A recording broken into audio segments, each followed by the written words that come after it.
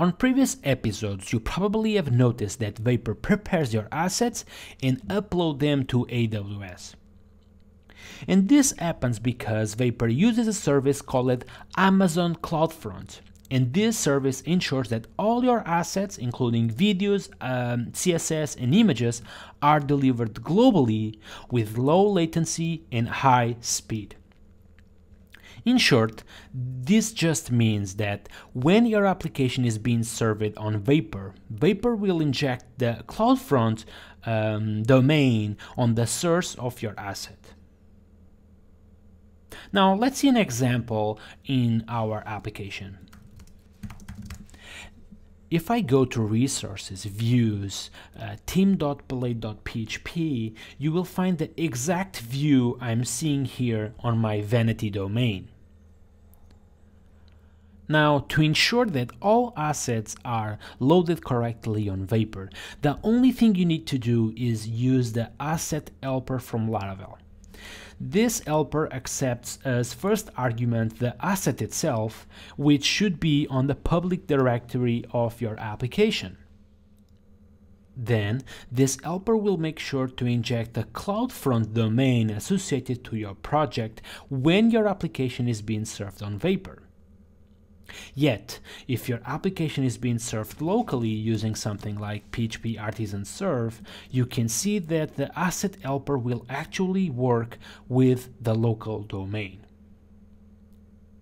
Now, let's add a new teammate to this view. So first, let's add the new teammate image to our public directory. Then let's modify the team.blade.php, adding a new card to our teammate. Let's uh, update the name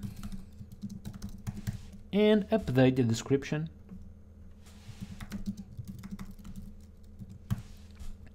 and of course update the asset as well and remember always use the asset helper so now if we visit our local page, we can sure enough see the new team member being added to the list of uh, teammates. And of course, this asset is being served locally. So we can safely deploy this new code to our Vapor environments. So let's go to our terminal and of course type Vapor deploy staging. Now, one thing you will see in this deployment is that Vapor is smart enough to understand that it just needs to upload the new asset. Because if we go to our vanity domain here, you will see that we already have this asset right here, so we don't need to re-upload it.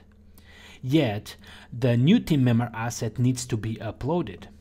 And if we go to our deployment output, you will see just that.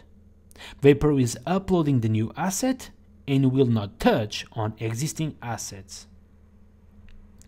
And sure enough, once the deployment is completed, we will see the new team member here appearing on this uh, vanity domain. So let's hit another uh, refresh and of course the new team member is appearing here on the page. That's because our deployment is completed. And sure enough this asset it's been served from CloudFront. All right some final remarks before we close the episode.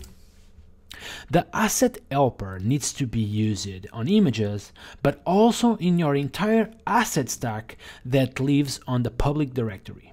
That includes CSS, but also JavaScript. And if you are using JavaScript, you are most likely using a bundler such as Webpack.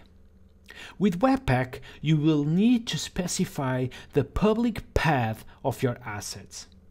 And for that, you can use the asset URL environment variable.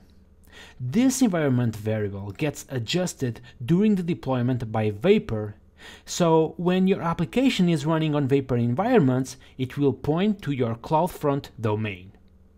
Just ensure that all the compilation step of your JavaScript is being done during the build hooks of your environment.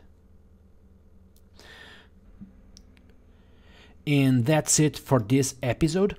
In the next episode, we are going to talk about how can we manage the environment variables of your vapor environments.